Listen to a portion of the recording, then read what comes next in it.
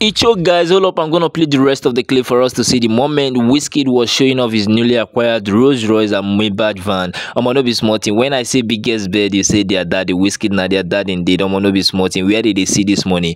Wizkid actually showed off his newly acquired two cars just this evening, a Rolls Royce and a Maybach van. I'm gonna be smarting. And these cars worth millions of naira. And these have actually gotten a lot of reactions from fans. And this is actually the third Rolls Royce that Wizkid is actually purchasing. Man, big whiz. Where did they see this money? This is actually reactions from fans. You can actually see what this one said. This one say, of the talk say the video they show off when him buy cars and jewelries. Now waiting this kid they do. The fact is Wiz was broke when Davido was buying cars and jewelry. Voila. And this one said whiskey don't make noise. Voila. A lot of reactions have been coming from fans. But let's take a look at the moment he was showing off his cars. This was whiskey showing off his cars.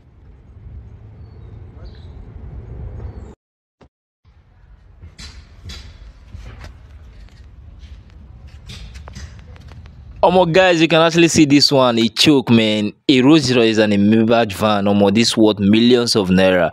This have actually gotten a lot of reactions from fans. Fans are saying a lot of things relating to that. Say Wizkid, why he was not buying cars since when Davido was buying his own cars and jewelry was because he was broke and now he don't get money now why in they buy. Some people sabi talk sha. The fact is that people should just stop all these things. Let's just play love in the industry. What I have to say here is big congratulations to you, Big Wiz, on your newly acquired Rolls Royce and this is the third Rolls Royce that Wizkid is buying, man. Money there big. Big whiz indeed. Biggest bed. When I shout biggest bed, you replied there, daddy. Share your thought via the comment box section and remain your favorite Big Vicki. And don't forget to subscribe.